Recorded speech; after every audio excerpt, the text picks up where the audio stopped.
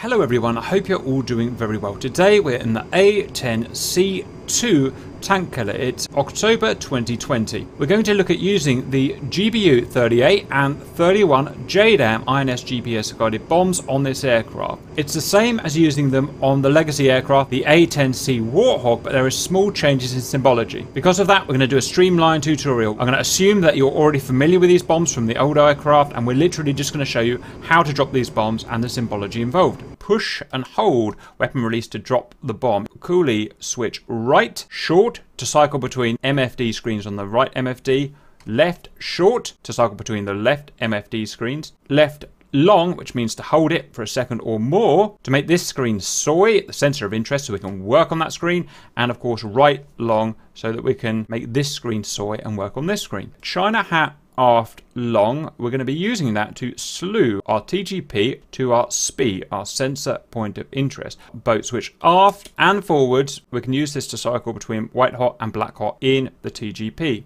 DMS data management switch. We've got forward and aft. I'm going to be using them to zoom in and zoom out on the TGP. DMS left and right are going to be for my weapon selection. Master mode control switch will allow us to choose the method of weapons employment. Next, the TMS controls, we're only going to use forward long to create a SPI. And finally, our axis controls, we must have these two chaps here. HOTAS slew horizontal, HOTAS slew vertical. One axis going that way, one axis going that way. We're in a fresh airspawn plane here. There's a target about 10 miles off my nose on the ground. The plane is set up already with master arm on and TGP on and warmed up. First thing we want to do is to create or move our SPI sensor point, sensor point of interest to somewhere near the target.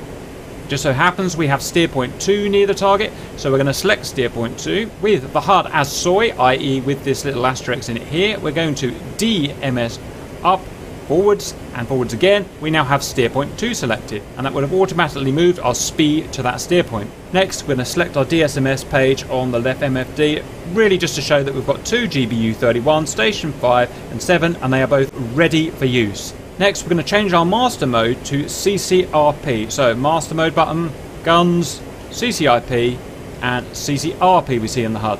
Next, we're going to select our weapon. So again, with the HUD as SOI, we will use DMS left and right to select the weapon. So left, we can see it says GBU 31 there, and these have been highlighted to stations 5 and 7.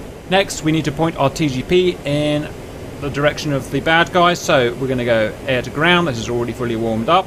We're going to ensure that this is SOI sensor of interest, with coolie switch right long.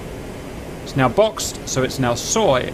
Now to slew the TGP to our current SPI at steer point 2, China hat aft long.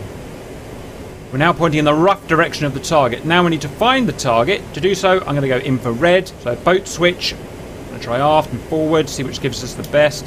White hot, black hot. White hot seems fine. Next, we're going to slew the T-pod manually to our target, which is going to be that guy there.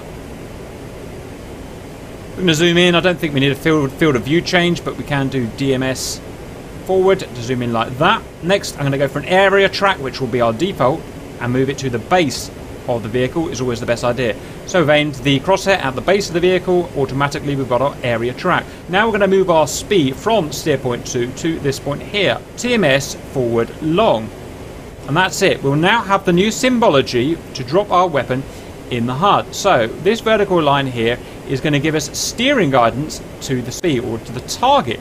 We have to fly with our velocity vector here as close to this line as possible to keep us on steering. Also, we have a new dynamic launch zone here. Here is our current range of 6.4 miles.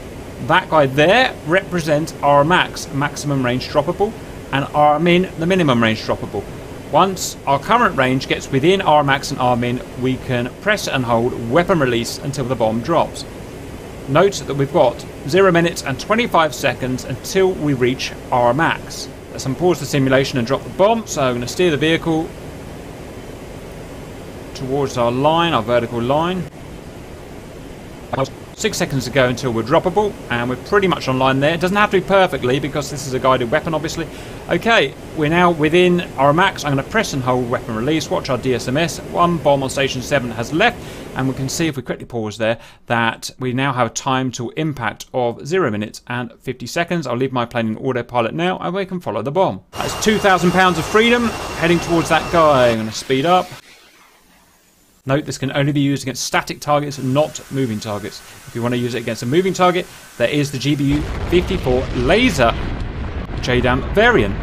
That's a brief overview of how to use non-laser JDAMs in the A10C2 tank killer. I hope that was useful and see you later.